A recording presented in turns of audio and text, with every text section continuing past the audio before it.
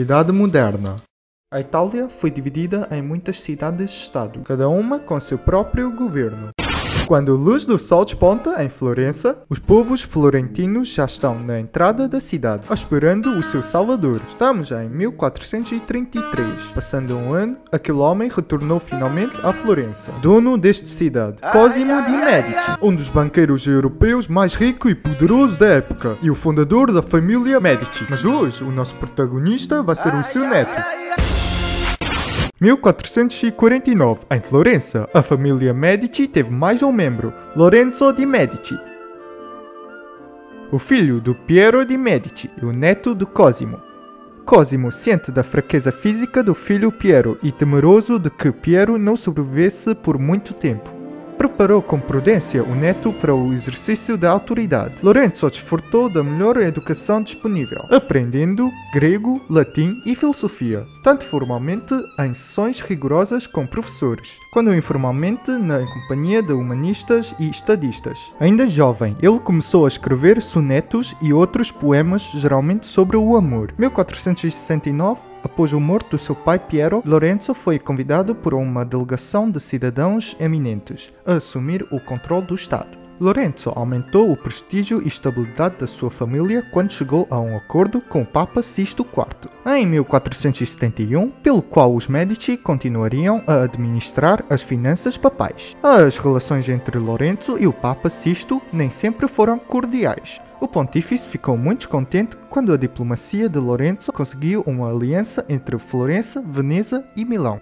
Papa Sisto sentiu-se frustrado em suas ambições de expandir o território papal e preocupado com a segurança do que a Igreja já possuía. Consequentemente, o Papa concordou com uma conspiração destinada a livrar Florença de Lorenzo e de seu irmão Giuliano. E os principais conspiradores eram a família Pazzi, uma família bancária rival e amarga inimiga dos Medici. 26 de abril de 1478, durante a celebração da missa no domingo de Páscoa, Giuliano foi morto pelo assassino, mas o Lorenzo escapou ferido. Após disso, os autores do plano, entre eles Francisco Saviati, arcebispo de Pisa, foram linchados pelo povo. O Papa, enfurecido, esmungou Lorenzo e interditou a cidade.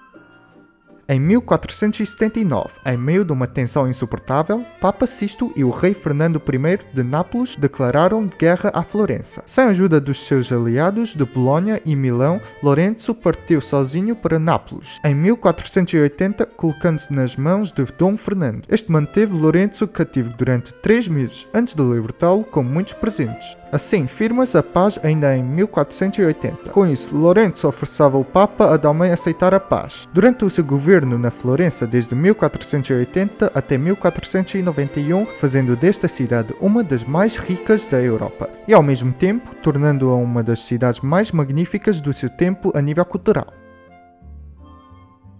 Ele é o protetor dos escritores, sábios e artistas, um dos maiores mecenas artísticas da época e o impulsor das primeiras imprensas italianas. Fundou tipologias, criou bibliotecas e escolas.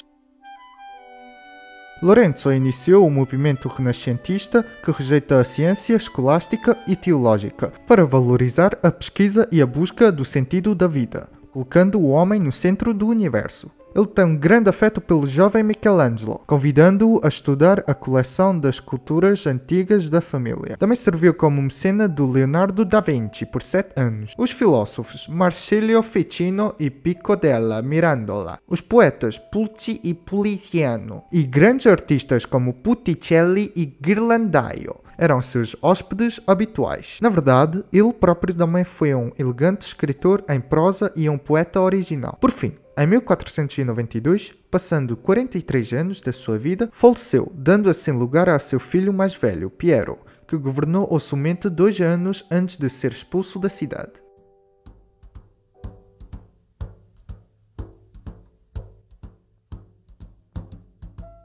Fly me to the moon, let me play among the stars, let me see what spring is like on a Jupiter and Mars.